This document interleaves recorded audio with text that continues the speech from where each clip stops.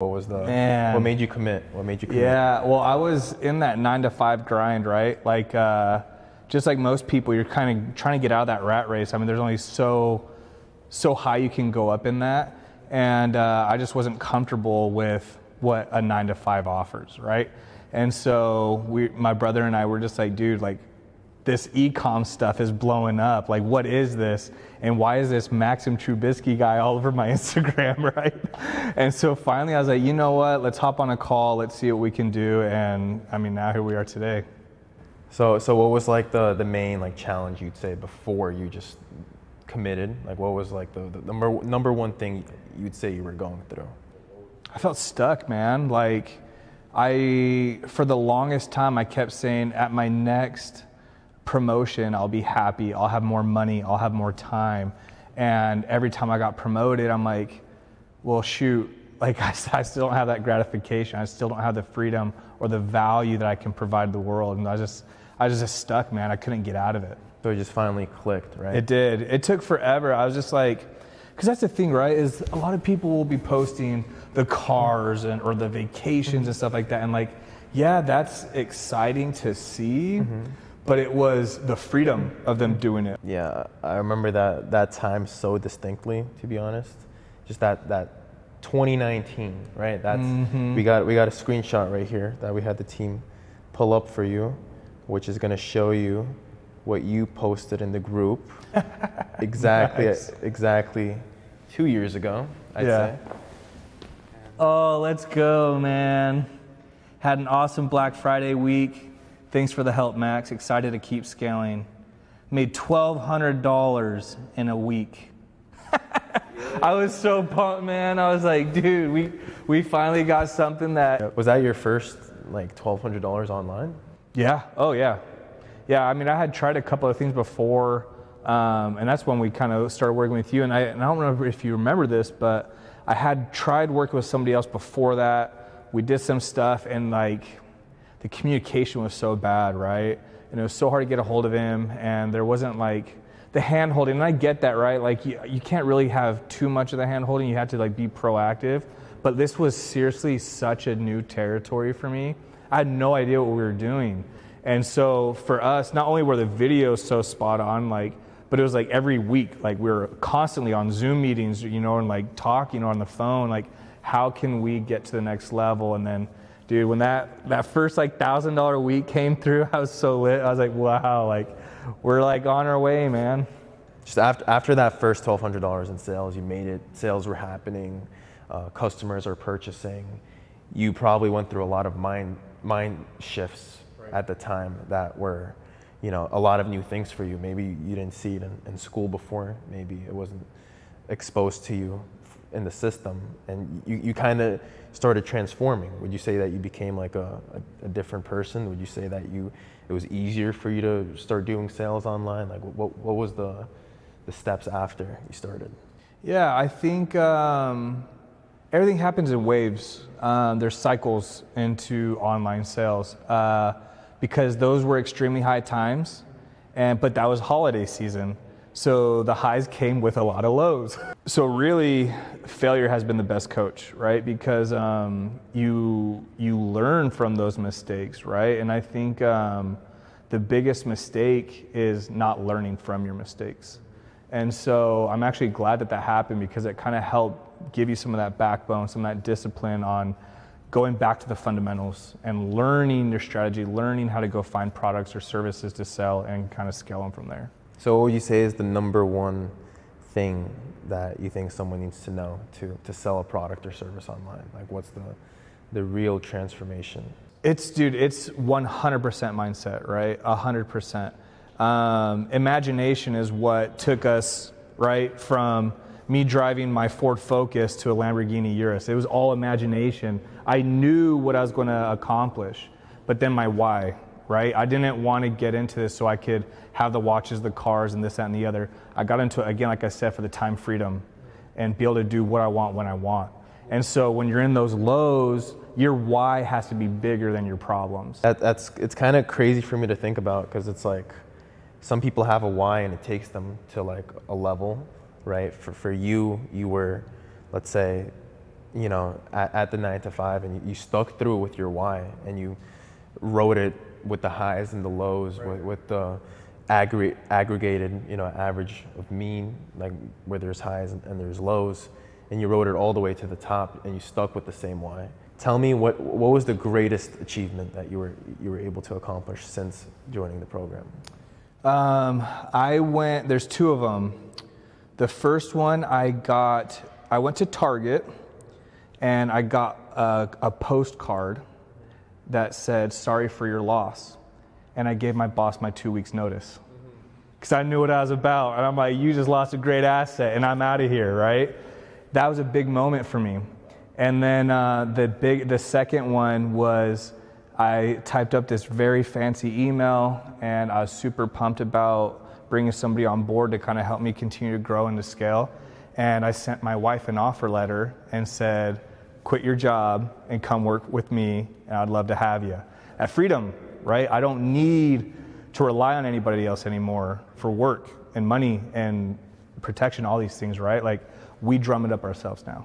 It's, it's so easy to not live a free life, you'd say, right? Right. it's like there's, there's the conscious freedom, mm-hmm. there's the financial freedom, which is probably what you've noticed about myself. Like I, I was 17 at the time when you, when you got my program. Oh my gosh. And I was just you know, I was supposed to be in high school, but I, I right. was, I was in Paris.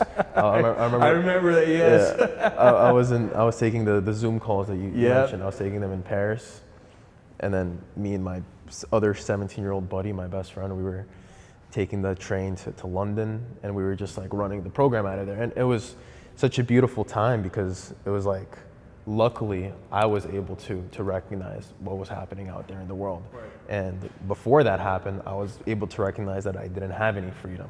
That for me, like I, I wanted freedom more than anything in the world. Maybe that was just the way I was brought up. And I, I was brought up on like the, the Braveheart movies, you know, where they scream freedom. Yeah. you know, and so as soon as like I was in ninth grade, and I looked at the the the system ahead of me. And I was I'm a very impatient guy. I'm like literally like and I'm like okay like I, I want that financial freedom first. So then I put my mind to it. But then I didn't realize that there's also this this level of conscious freedom that, that we get. And that's actually like the where most people are are hooked in for, for life. They have this this dependency on uh, a lot of these different social bonds these social norms they either you know are going to be scared to take an action because their friends are going to laugh at them or something like that, or or they're going to look stupid to fail, and that just keeps them stuck in in that in, in that mode of lifestyle of never actually having a, at least freedom of your own brain and they're stuck in the, their entire life. Their entire life is wasted. They go, they go through the entire thing. I think a lot of people err on the side of comfort um, when you are working like in a nine to five, you have a very like a, a, scarcity mindset. You're not thinking of abundance. You don't think about growth. You think like I need to save up this money because if I spend any of it, I work so hard for it. And you start thinking buying that watch is going to cost me three weeks of work, right? You see what I'm saying? You start thinking in scarcity and you're running out of money. And so when you think of investing into a program or into knowledge, you're not thinking of the upside possibilities, you're thinking of what you could lose, right? And so I think for me, it was at that point. We, dude, I can't remember, it was like something like 2,000 bucks, right, for, to get everything rolling. And we maybe, maybe had like three grand in the bank, four grand in the bank. So I was like, I'm not going to let money dictate my actions or my future. Like, there's no way. Like, that cannot stand in the way of my success. And so I always tell people, you know, you got to get comfortable being uncomfortable. Like, what what is on the other side of discomfort that, that you're missing out on? And so uh, just threw it on the credit card. I'm like, I'm a, like, I got no choice. Like, I'm gonna make that money back, or I, like I'm a toast. And so we just made it happen. I just pulled the trigger and you just sent it, you know, and just like made it happen. Yeah, yeah. it's like you gotta you gotta burn the ships to take the yeah, island. exactly. Right? Oh my gosh. See, and I think that's what's different is I kind of grew up in like in the sport world, right? And um, and there's just so much that you with that Kobe, like that Mamba mentality, right? And like what you just said, burn the ships. Like I love like that Polynesian culture. Like you go island to island, you burn your ships, or you're like in 300, like you come back, you know, with your shield or on it, right? You're not a coward. Like you're gonna go and fight until it's over, and it's not until you lose. It's it's until you win. Like failure is not an option, and you do whatever it takes to make that happen. It's like there, there's these like specific breeds, like you said, like in, in this world that that feel like that. They, they like I- I'm the same exact way. Like for me, it's it's like when it's like my family versus like you know versus like them potentially not living the life that they deserve, right? Just because the system is doing them wrong, just because they came over here, right, from from a different country, in like the name of like freedom, right? This country is supposedly built on freedom, right? And they have these beautiful skills like like painting and piano, right? That's that's what my pa- parents are. They're, they're artists, and like the society tells them that no, you're you're you're not going to make this much money because you know we say so because we don't value these skills because we're going to do everything in our power to make it hard for you, to take all your money away from you, and whether we know it or not, actually like 40 to 50 percent of all the money people make goes to billionaires that already have money.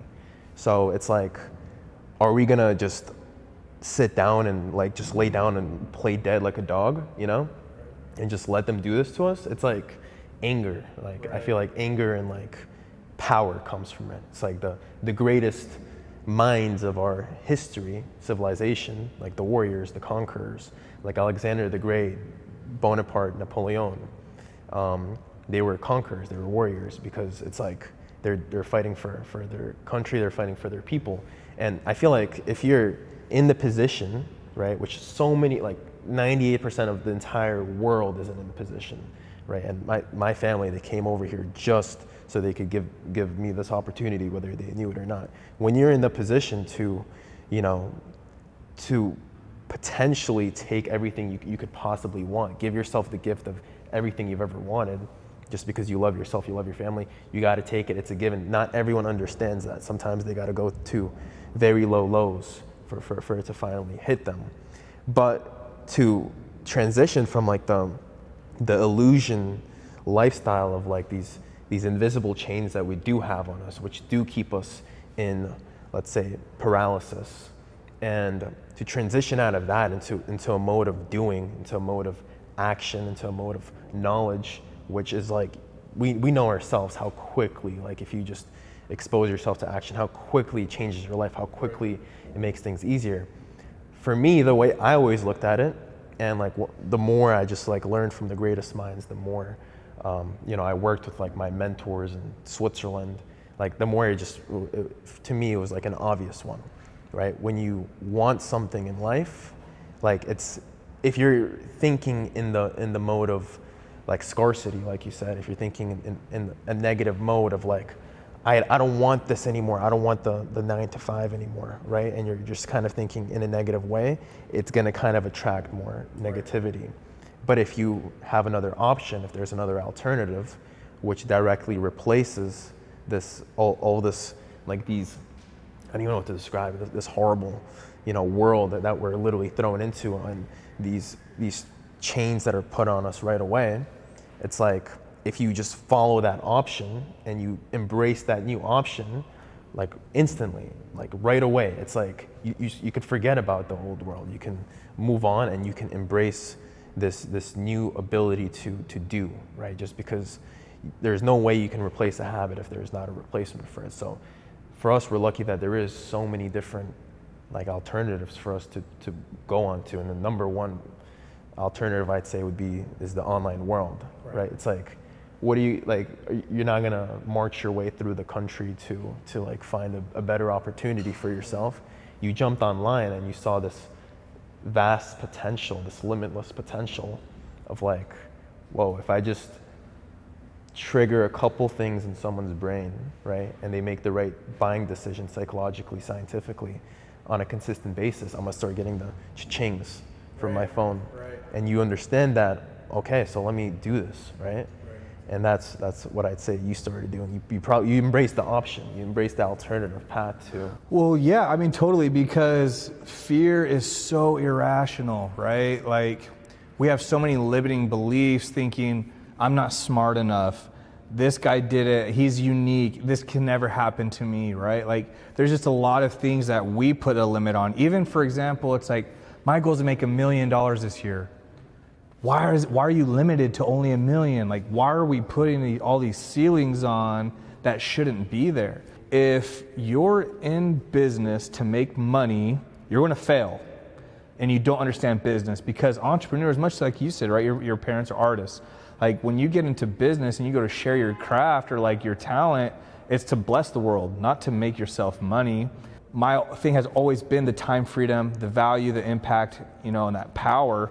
And so now when I was seeking those things, I was seeking value, money just came because there's opportunities to provide, provide value. Like we're here today because of that. I wasn't seeking money. I'm seeking an opportunity to have a platform to help people, and money was just a byproduct of all of it.